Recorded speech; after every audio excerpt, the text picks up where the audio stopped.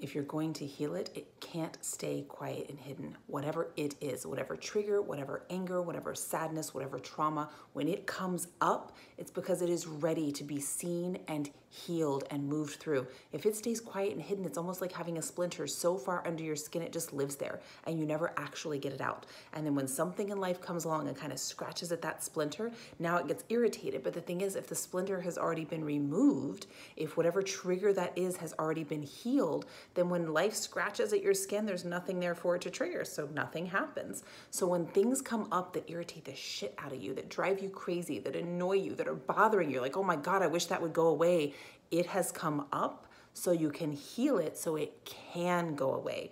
So I really invite you not to be angry or irritated or aggravated when it shows up. Be excited. I know it could be hard in the moment. Be like, oh, interesting. That's still here. Okay, I wonder why that's still here. Oh, wait, that's still here for me to heal. If it's still here, what hasn't healed yet? I thought I handled this. I thought I dealt with it. I thought I healed. I thought I moved on, whatever it is. Oh, it is still hanging on. Let me take a closer look at that and see maybe there's still something that I need to take a closer look at, some aspect of this that hasn't healed yet. I love helping clients with this as a life coach. If you'd like to look at something that does keep coming up from you, for you, let's do it together. There's a link in my bio for a free consultation, one hour you and me on the phone to dig in and see if we're a good match to work together so we can look at whatever triggers keep coming up for you so they can finally be healed and move the fuck on and you can live your life in peace. You know where to find the link like this video, share it, and follow me for more empowering shit like this.